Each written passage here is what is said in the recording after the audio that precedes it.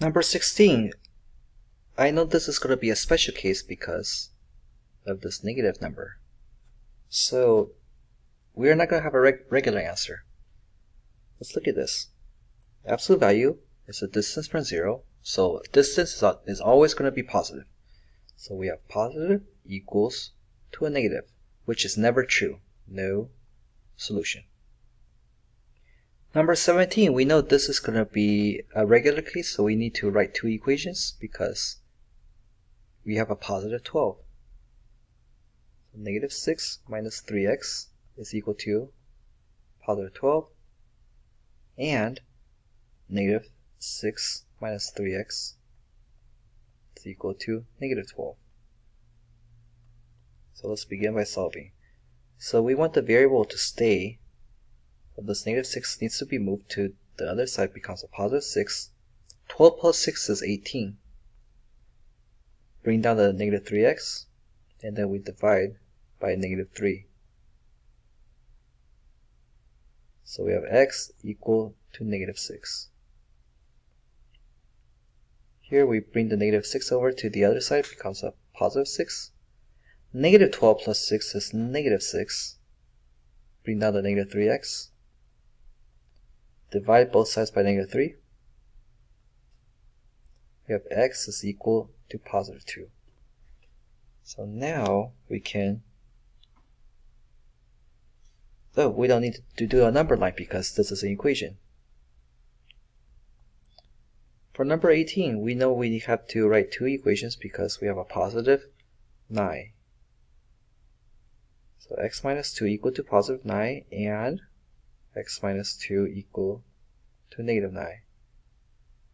To solve, we need to bring over the negative 2 to the other side becomes a positive 2. So 9 plus 2 is 11. Here we bring the negative 2 to the other side.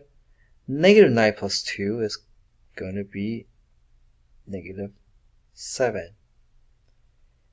Now we need to draw a number line because this is an inequality. So negative 7 is smaller, so that goes on the left side. 11 is bigger, so that goes on the right side. And this is less than, so we know, uh, okay, so looking at this inequality, because we have a line, we know the circles need to be filled in because we have this equal to part underneath the inequality. And less than means we want to go inside. So closed circle means that we need to have a bracket. Our answer is going to be bracket negative 7, 11 with a bracket. Number 19, we know we need to write two equations because of this positive 7. So the first equation will be negative 2x plus 3 equal to 7. The second one will be negative 2x plus 3 equal to negative 7. So to solve this, we need to move the 3 so that becomes a negative 3 on this side. 7 minus 3 is 4. Copy down the negative 2x. And then we divide both sides by negative 2. Okay, x equals to 4 divided by negative 2 is negative 2. For the second equation, we bring the negative the 3 to the other side, that becomes a negative 3. Negative 2x equals to negative 7 minus 3 is negative 10 we decide we divide both sides by negative 2. So we have x is equal to positive 5. Now putting this into the number line, we have negative 2 and positive 5. This inequality is greater than. We don't have a line underneath, so don't have the equal to part. So it's going to be open circle. I'm going to fill that in. And greater than means that we are going to go to the outside. So this arrow to the left, that's going toward negative infinity. So we have negative infinity over here. And this arrow to the right, we have positive infinity. Now using our brackets, uh, like uh, parentheses or brackets. So negative infinity is always going to be parentheses because you can't reach it. Open circle parentheses, open circle parentheses, and infinity parentheses. So our answer is going to be negative infinity all the way to negative 2 parentheses 5 to positive infinity and we put a u in the middle for union.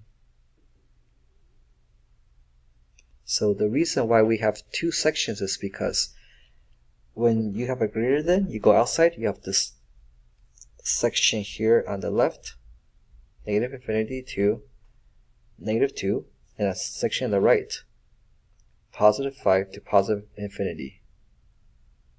For number 20, we don't need to write two equations because we have a negative number on the other side.